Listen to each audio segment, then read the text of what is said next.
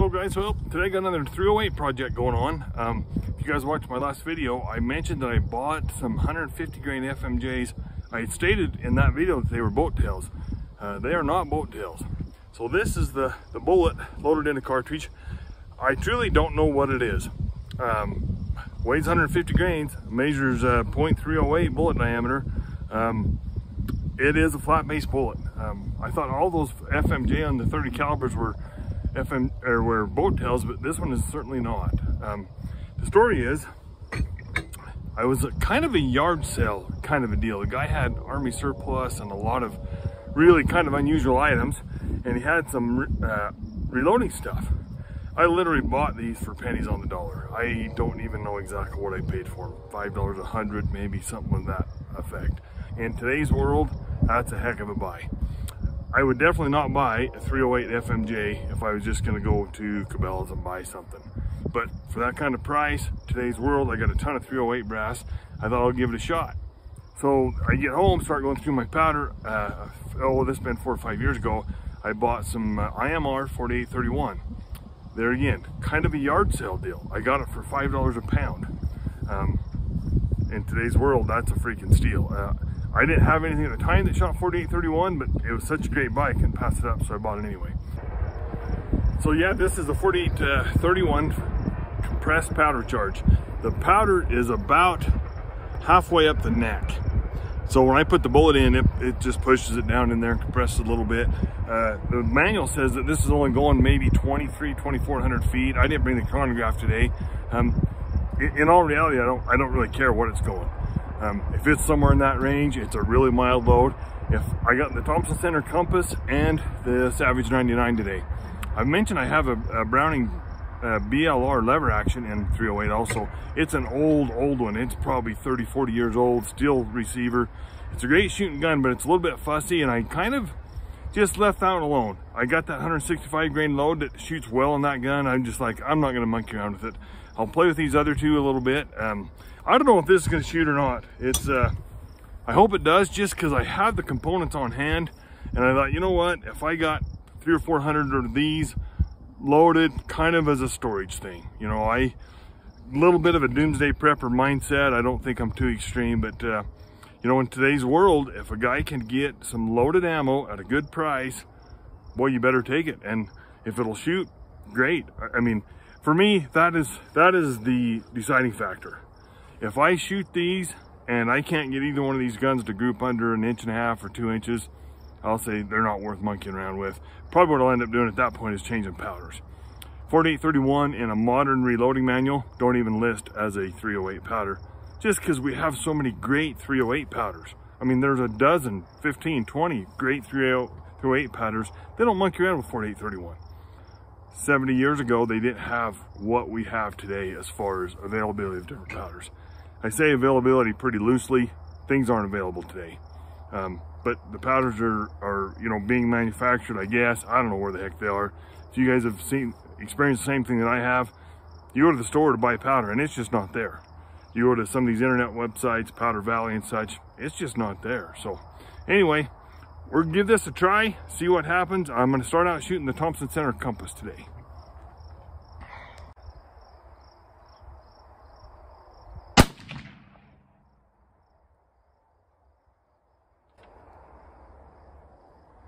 So that's really surprising to me. I'll show you guys when I see it through the scope. The point of impact is about right on with this gun. I hope that it groups well.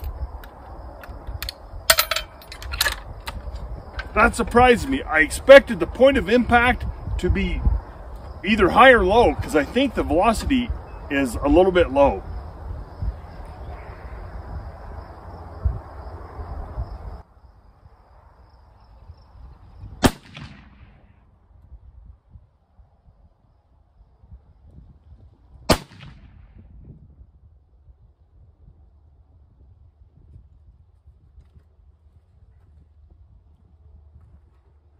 I think I pulled the last shot. We'll walk up and show you guys what I got. Okay guys, I'm kind of surprised at how good it shot actually. These were my first two, well under an inch. This guy was my third one. That makes that about a two inch group or such. Um, Forgot my tape measure. It's back to the shooting bench, but you know what? I'm pleasantly surprised. Forgot my pan too, so here's my marking. 22 with the lead bullet. I'm gonna shoot one group with uh, 308, or excuse me, with the Savage 99. Honestly, for what I got into the components, uh, that's pretty much acceptable. Well, I am very pleasantly surprised with that. I think I'm gonna call that last shot kind of one that I pulled, having those first two shooting that good. I only loaded about 10 or 15 on this test load. I'm shocked how good it shoots, honestly. I'm gonna try three shots out of the Savage uh, 99 and see what it does, but uh, shoot, I, I think I might be onto something here. All right, guys, we're gonna give the Savage 99 a try. I'll tell you what, I, I can't get over how good that shot, honestly. I did not expect, I mean, that's not a great group. You know, I think I've, if you guys watched my channel before, I've, I'm a one inch, three shot group guy. If it doesn't shoot one inch at 100 yards, I keep working at it. Bullets, powder, different charges, whatever. This is a different story. You know, I've got almost nothing into these components. $5 a pound for the powder, $5 a hundred for the, for the bullets. Um, if I'm shooting a solid two inch group, um, for ammunition that's just kind of as a storage thing. You know, I've mentioned my doomsday prepper mindset, you know, and as crazy as the world is right now, I would not say that's the bullet I'm gonna go harvest big game with. It's just not. But if it shoots good, it's reliable, and I can get four or 500 rounds loaded and, and just stashed away and put some notes on it to, to say what it does, what gun it shoots in. Tell you what, if, if there's somebody watching this channel that's just starting about reloading or just started or just thinking about getting into it, one thing I would say that I am not good at is documentation. Um, I have been loading since before I could drive a car and I don't have enough notes as far as my reloading, bullets, powder, components, velocity. Man, I just, about five to 10 years ago, I realized that I need to start making better documentation on this. So uh, I got one book that's got quite a few notes in it. Another thing I've started doing, which I, I made the mistake of earlier, is not dating it. So I've got notes in there. I don't know when it was, but the dates are important because what you realize is as you progress through this reloading, that as you date material, you can say, oh, I tried that 20 years ago and it didn't work, or I tried it 20 years ago and now that component is available. I used to use a lot of blue dot in 41 mags, 44 mags. I haven't seen blue dot on the shelf in probably 10 or 15 years. But I have some blue dot loads for 44. So when I look back 20 years ago, that them blue dot loads were successful, there might be a day I might not be able to find anything but blue dot. Who knows with this component deal anyway. So anyway, that's my speech as far as documentation on reloading. Um, we'll see how this 99 shoots.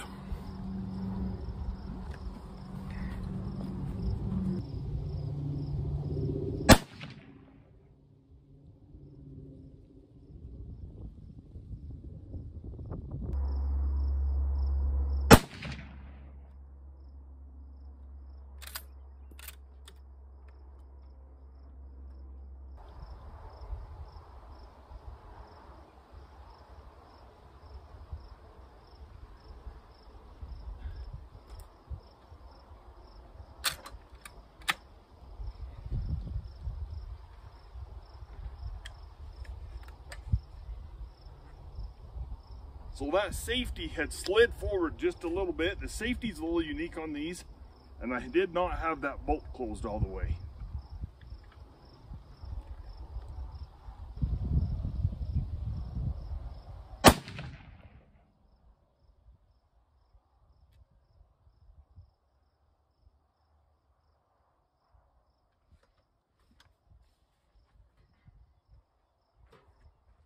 Can't see where my third shot was. We're gonna check it out. I think it's shooting actually pretty good.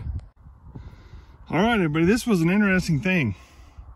So these are my three shots with the Thompson center compass. I'm aiming at this same target. This is regular 8 by 11 sheet of paper. This is where the three shots from the Savage went. Not a terrible group. That's probably under two inches. Not, not terrible. Um, I would say for that setup, that's acceptable. It shoots one foot low. Well, not quite, maybe eight or nine inches. Very interesting that that's Thompson point of impact's pretty good. Savage shooting acceptable group. But anyway, I guess these are the kind of things that make us gun nuts tick. Um, if it was easy, I guess, I don't know. That's the, that's the fun of these projects, I suppose. Um, I'm not unhappy at all with that group on the Savage. Not a bit. I, there again, you know, I've, I've said how I got a hold of these components. I got two guns that are shooting what I would say is acceptable.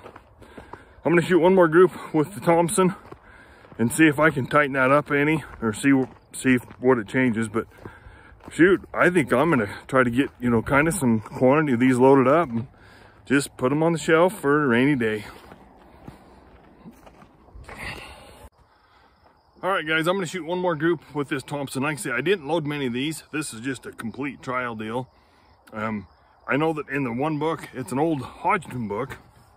I'll tell you, if you guys ever get a, a, chance to pick up one of them books, I've Hodgdon, uh, I can't think of what it is, but it's the it's the hardbound book that's, uh, oh, I mean, it came out, I think, in the early 90s, but uh, it's got more reloading data than any other single book I've got. It has a full data package for all brands of powder. Back in those days, Hodgdon didn't own Winchester and all them others, but they did a ton of load data on them. That's where I found this load. And what's what I like about that book is it'll show the pressure. You know, uh, a 308's operating 50,000 uh, pounds, and this load was showing really low. It was in the in the higher 30, 8,000. So it's a really mild load. I mean, shoot the bolts open. There's no pressure at all. But uh, yeah, I'm gonna shoot one more group with the Thompson make sure that wasn't a mistake, then probably shoot one more group with the with the Savage and probably call it call it good.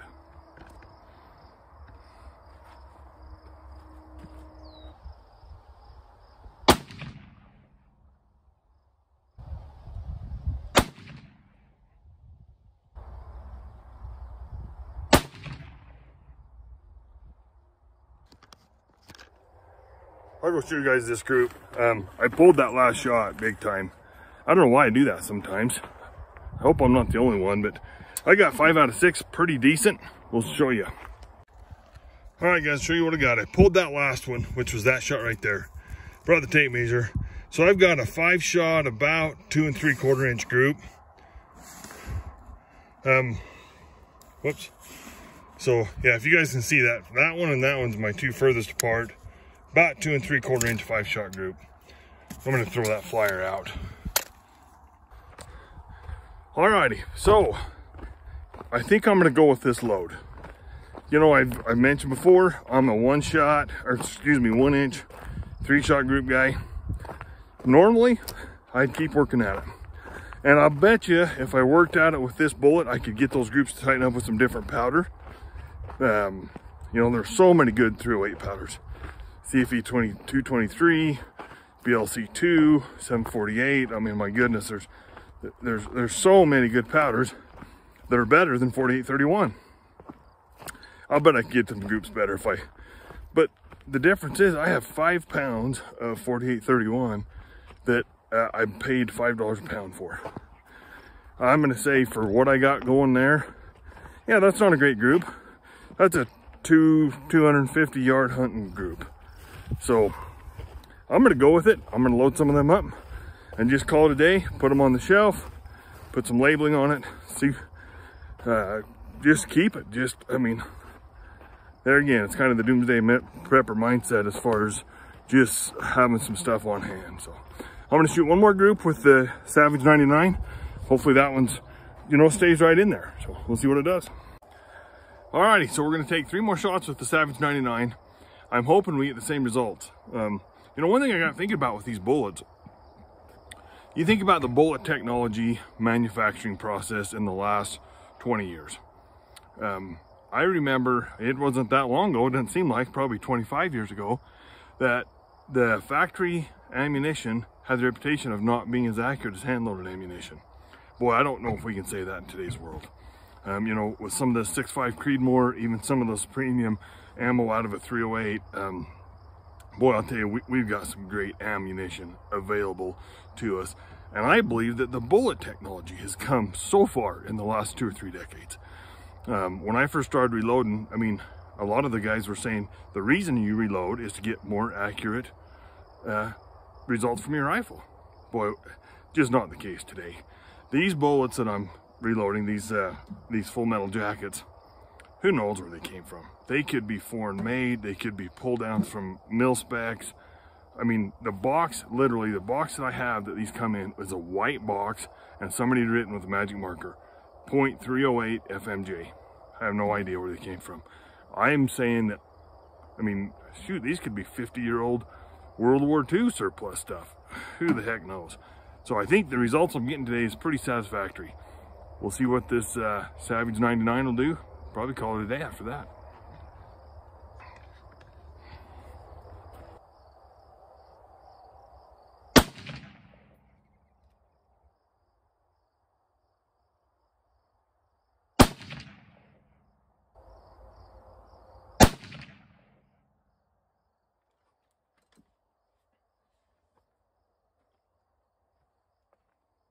All right, guys, I think I got a, I think I got a pretty decent group going on there. We'll check it out. All right, guys, what we got here. Not great results, but not terrible either. So, so that group is about the same, almost exactly. Two and three quarters of an inch. I got six shots there. Here I had five out of six with a flyer. So the, the results are about the same. Um, point of impact is pretty consistent. Same here. What's interesting is, like I said earlier, the Thompson's clear up here. This one's down here. So I'm aiming at this target with both rifles.